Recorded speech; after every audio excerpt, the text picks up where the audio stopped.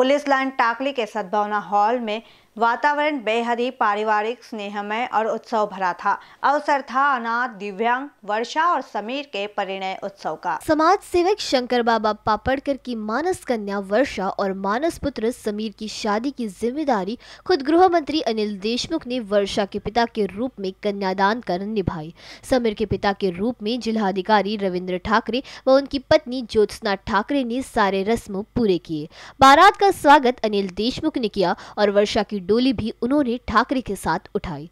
देशमुख व उनकी पत्नी आरती देशमुख ने वर्षा का कन्यादान किया। पूरा परिसर किसी रजवाड़े से कम नहीं लग रहा था। इस समारोह में पालक मंत्री नितिन राउत ने वर वधु को भावी खुशहाल जीवन के लिए आशीर्वाद दिया। प्रभाकर राव वैद्य, सांसद कृपाल तुमाने सरसंघ चालक मोहन भागवत, विधायक विकास ठाकरे, मोहन मते, विकास कुम्भारे अनीस अहमद, रंजीत देशमुख रमेश बंग सतीश चतुर्वेदी दत्ता मेगे गिरीश गांधी माधुरी चिड़के वैद सलील देशमुख सीईओ योगेश कुमेस्कर व सभी विभाग के वरिष्ठ अधिकारी उपस्थित थे। वर्षा समीर ने जब शादी की इच्छा जताई तो पापड़कर ने गृह मंत्री को बाल आश्रम के दौरे के दौरान जानकारी दी थी। तब उन्होंने वर्षा के कन्यादान की ज़िम्मेदारी खुद ली थी। पिछले तीन दिनों से उनके व जिलाधिकारी के घर वर्षा व समीर की शादी की रस्में आयोजित की जा रही थी। शनिवार को हल्दी की रस्म पूरी की गई थी। उसके बाद काफ़ी धूमधाम से व आलिशान तरीके से दोनों का विवाह उत्सव आयोजित किया गया।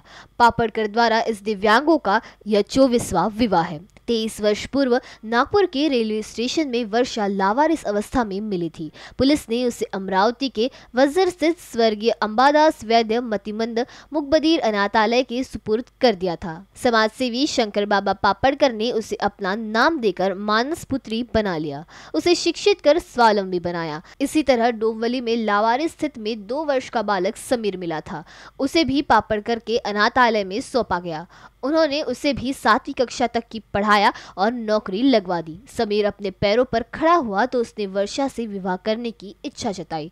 दोनों का परिवार बसाने के लिए उनके लिए स्वतंत्र घर की व्यवस्था भी पापड़ करने ही की। यह जोड़ी अब जीवन साथी बन गई है।